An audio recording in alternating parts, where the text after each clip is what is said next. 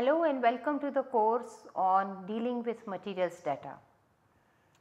In previous few sessions we are working with a variety of distributions, model distributions that may arise through the experiments that we conduct. That is the results of the experiment may uh, follow a certain kind of pattern of distribution and this is what we want to call them, we call them as a special random variables. So far we have introduced uh, two kinds of special random variables. One is a uniform random uh, uh, random variable. Uh, these are all the continuous in nature. If you recall back we introduced the discrete uh, random variables, special random variables such as un discrete uniform distribution, binomial distribution, Bernoulli trial, negative binomial etc., etc. Then we introduce the continuous type of uh, special random variables. So, in the previous session we introduced uniform random variable, we showed that it is useful for uh, pseudo random uh, is, is useful in random number generation and it uses the pseudo random number generator to generate any random pseudo random number that we wish to have from any distribution. Then we introduced a normal random variable uh, we said that this uh, random variable or this distribution was uh, noticed. Actually it was noticed during the Galileo's time when he was very upset that under the same circumstances his students are bringing out different observations of stars and constellations. Uh, but it took around 200 years for Gauss to come and say that these errors are normal to occur, they are natural to occur and they have a certain kind of distribution and that distribution we called it a normal distribution or a Gaussian distribution. We also said that the Gaussian error function is directly related to the normal uh, random variable that is Gaussian error function actually shows the probability of a random variable y falling between minus x and plus x when y is distributed as a normal with a mean value 0 and a standard deviation uh, or the variance as 1 over 2 or variance as a half. Now what we want to do this time is uh, we want to introduce some of the distributions which are going to arise in future. That is when we deal with uh, assumption that certain data comes from a normal distribution and we do certain inference on the data we do the estimation of the data, we do the confidence interval estimation of the data or we do the hypothesis testing all this we are going to do in the future. When we do these things on the data we need certain distribution in order to estimate the probabilities or the estimate the uncertainties. So, this time we are going to in this session we are going to in introduce 3 such distributions which are derived from the normal distribution. They are chi-square distribution, t distribution and f distribution. So, let us start.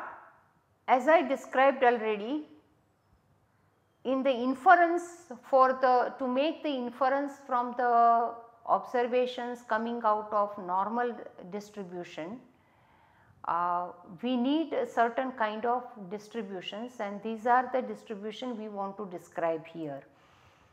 First we go by chi-square distribution.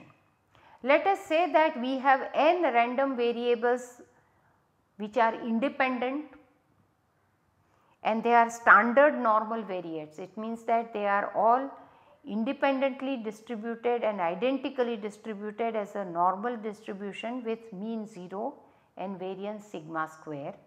In that case a random variable y defined as summation of xi square, the square of all these random variables and summation of it is said to distributed as a chi-square distribution with n degrees of freedom and is denoted as y distributed as chi-square n, n is a subscript in that case the expected value of y is n and variance of y is 2n.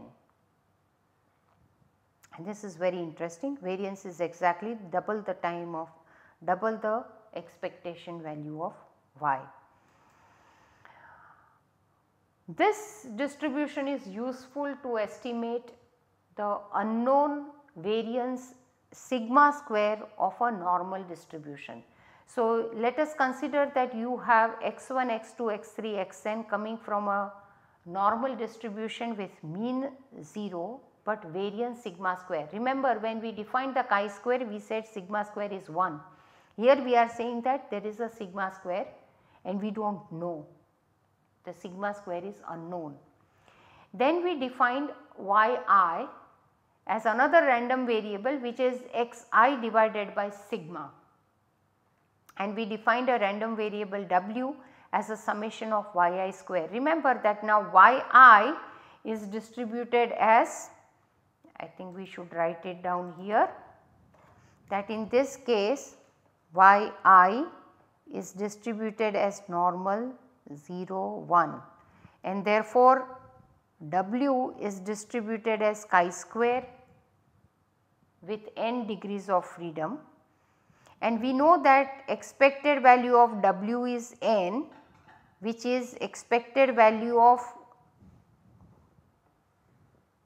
yi square. So, it comes to 1 over sigma square summation of xi square. And therefore, you can say that just make some changes. Expected value of same summation of sigma i square divided by 1 over n is sigma square and therefore, expected value of w divided by n we come from here expected value of w divided by n is sigma square and this is the way if you have n random variable coming from a normal with 0 mean and sigma square and sigma square is unknown. Chi-square distribution is useful to estimate the value of sigma square. It gives you expected value of 1 over n summation xi square as a sigma square. Next we move on to student's t distribution. This distribution is also known as a student's t distribution because um, the person who I mean the, the, the t distribution in he took a takhallus, he took the pen name of student and therefore it is called a student's t distribution. Let x be distributed as normal 0 1 and y be distributed as a chi square dis, uh, distribution with n minus 1 degrees of freedom and these x and y are two independent random variables. Then you define a new random variable w as a ratio of x divided by square root of y divided by n. Then this follows a t distribution with the same n degrees of freedom and it is denoted as w distributed as small t n degrees of freedom. Sometimes n is also written as a subscript, it is just a case of notation. Kindly note one thing that there is a square root in the bottom, okay. There is a square root in the while taking the ratio we have taken a square root. You can imagine that if x is a result of an experiment it has a unit connected to it and uh, y if you look at as a chi-square distribution the unit of the random variables coming up for chi-square distribution will have exactly the square of the unit of x. Please recall let us go back. You have x random variables with some unit say L.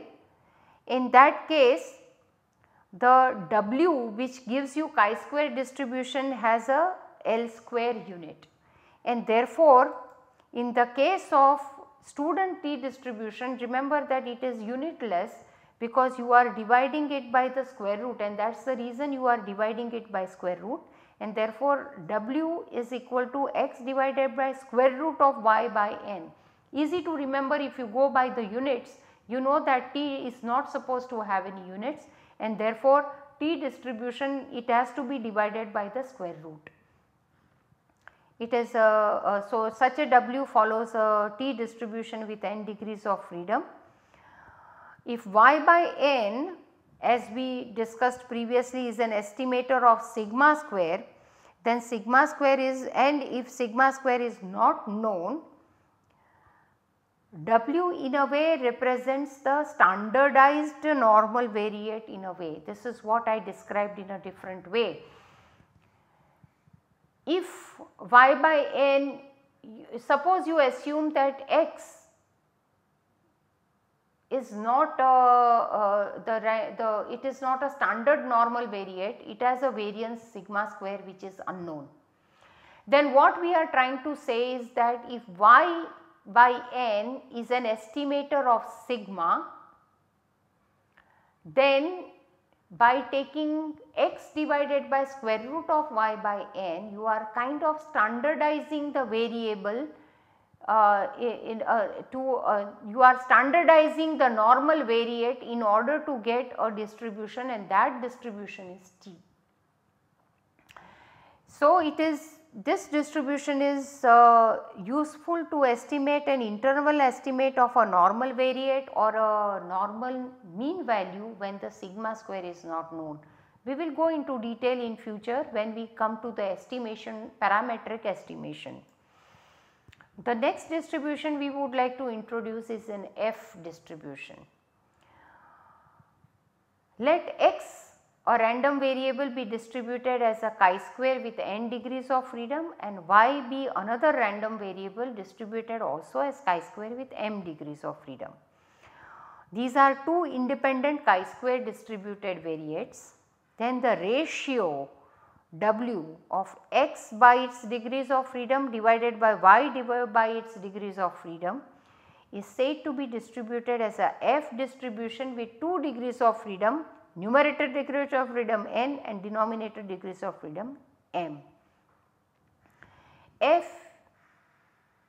if we look at x by n and suppose x by n is also an estimator of a variance unknown variance sigma square of a normal variate as we derived in, in the past. If you recall we said that w by n when W is a chi-square distribution with n degrees of freedom in certain circumstances W by n is an estimator of a variance sigma square, unknown variance sigma square. So, here what it says is that f is a ratio of two independent chi-square variates uh, it's it's a two independent chi-square variates and therefore if both the chi-square variates are estimating the same uh, say unknown sigma square then this becomes a test to see if the two variates are same or they are different. This is what is going to come up when we learn analysis of variance. This distribution is going to play a very important role. It also plays important role to test the hypothesis that the two data sets have the same variance.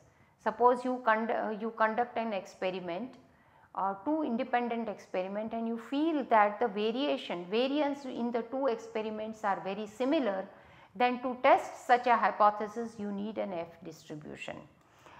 So, with this uh, we introduce the three distributions derived from normal distribution. Please remember for normal distribution for uh, we gave uh, that it arises naturally in experimentation while this chi-square T and F distribution are do not necessarily arise naturally from performing any experiments, but they arise they are useful for the future inference when we make on different kinds of normal uh, normal data arising from a normal distribution. And therefore we introduce the three distributions here.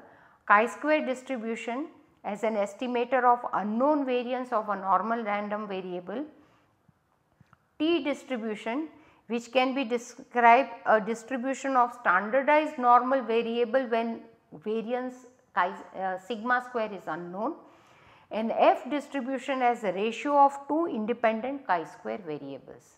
Thank you.